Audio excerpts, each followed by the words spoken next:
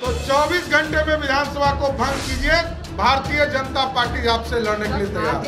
आज नीतीश कुमार जी इस्तीफा दे 24 घंटे में भारतीय जनता पार्टी का बिहार यूनिट विधानसभा चुनाव कराने के लिए नमस्कार, मैं साकेत कुमार, अपना भारत टाइम्स देख रहे बिहार बीजेपी के प्रदेश अध्यक्ष सम्राट चौधरी ने नीतीश कुमार को चुनौती देते हुए कहा कि अभी इस्तीफा दे और 24 घंटे में ही बीजेपी विधानसभा चुनाव करवाएगी और जीत भी दर्ज करेगी। तो कहीं ना कहीं अब सम्राट चौधरी ने खुली चुनौती दे दी। अब देखने वाली बात होगी कि आखिरकार नीतीश कुमार या जदयू महागठबंधन की तरफ़ से इसके ऊपर क्या कुछ कहा जाता है। साथ ही साथ संसद का विशेष सत्र बुलाया गया है। इसे लेकर भी सम्राट चौधरी ने कहा कि काफ़ी उल्लेखनीय काम किए जाएँगे। सबसे पहले इस वीडियो में देखिए क्या कुछ कहते हुए नज़र आ रहे हैं सम्राट चौधरी। जल्द चुनाव हो जाए तो हम लोग तो तैयारी है नीतीश बाबू आज इस्तीफा दे। आज नीतीश कुमार जी इस्तीफा दे।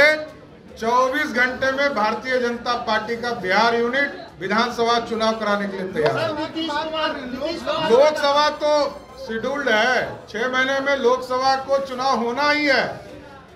अब तो इलेक्शन कमीशन ऑफ़ इंडिया को तय करना है, क्योंकि छह महीने के अंदर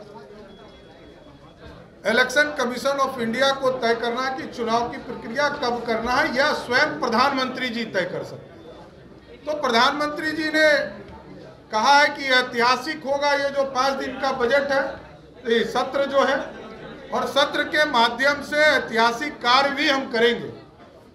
तो लोकसभा का चुनाव देश के यशस्वी प्रधानमंत्री जी या इलेक्शन कमीशन ऑफ़ इंडिया ही निर्णय ले सकते लेकिन नीतीश कुमार जी को जो राजनीतिक हैसियत मिली है बिहार की जनता से, वो है कि विधानसभा का चुनाव करा सकते हैं। हम उनसे आग्रह करते हैं यदि आप में हिम्मत है तो 24 घंटे में विधानसभा को भंग कीजिए भारतीय जनता पार्टी आपसे लड़ने के लिए तैयार। है तो आपने देखा, सम्राट चौधरी ने साफ़ कह दिया नीतीश कुमार को कि अभी इस्तीफा दे और 24 घंटे में ही विधानसभा भंग कराकर चुनाव किया जाएगा और बीजेपी जीत भी दर्ज करेगी। और लोकसभा चुनाव को लेकर भी कहा है कि वो तो छह महीने में होना है। इलेक्शन कमीशन वो डिसाइड करेगा कि किस डेट में चुनाव करना है, क्योंकि वह तो पहले से शेड्यूल है। लेकिन 2025 में जो बिहार का विधानसभा चुनाव होगा, इसे लेकर सम्राट चौधरी ने पहले ही कह दिया कि आज नीतीश कुमार इस्तीफा दे, आज ही 24 घंटे के अंदर चुनाव किया जाएगा। और विशेष सत्र जो बुलाया गया, विशेष सत्र को लेकर भी कहा है कि प्रधानमंत्री